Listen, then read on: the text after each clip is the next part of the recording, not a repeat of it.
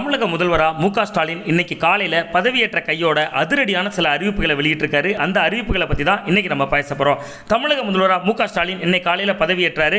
அது ரொம்ப நெகிழ்ச்சி ஏற்படுத்தி இருந்துச்சு அவங்களோட மனைவி மு க ஸ்டாலின் அவர்களுடைய மனைவி துர்கா ஸ்டாலின் கூட தன்னுடைய கணவர் பதவியேற்கிற போது கண்கலங்கி அந்த காட்சிகளை கூட நம்ம பார்த்தோம். தமிழக முதல்வர் மு க ஸ்டாலின் உடனடியாக இந்த முக்கியமான அறிவிப்புகளில் கையெழுத்திட்டிருக்காரு அதில் நம்பர் ஒன் என்னன்னு பார்த்தீங்கன்னா கொரோனா நிவாரணத் தொகையாக ஒவ்வொரு குடும்ப அட்டைக்கும் நான்காயிரம் ரூபாய் அறிவிக்கப்பட்டிருக்கு. அதே மாதிரி தேர்தல் அறிக்கையில் சொன்ன மாதிரியே ஆவின் பாலை லிட்டருக்கு மூன்று ரூபாய் குறைச்சிருக்காரு மு க ஸ்டாலின். தன்னோட முக்கியமான கையெழுத்தில் அதுக்கும் கையெழுத்திட்டிருக்காரு பதினாறாம் தேதி முதல் ஆவின் பாலுடைய விலை குறைப்பு அமலுக்கு வருது.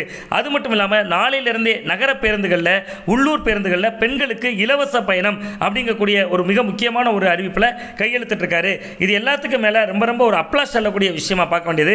தனியார் மருத்துவமனைகள்லையும் கரோனா சிகிச்சையில் இருக்கிறவங்களுக்கான சிகிச்சை கட்டணத்தை அரசே ஏற்கும் அப்படின்னு சொல்லக்கூடியதையும் கையெழுத்திட்டிருக்காரு அது மட்டும் இல்லாமல் நிறைய குறைதீர்க்க முகாம்களை நடத்தினார் மு க ஸ்டாலின். ஒவ்வொரு இடமா போய் மனுக்களை வாங்கினாரு.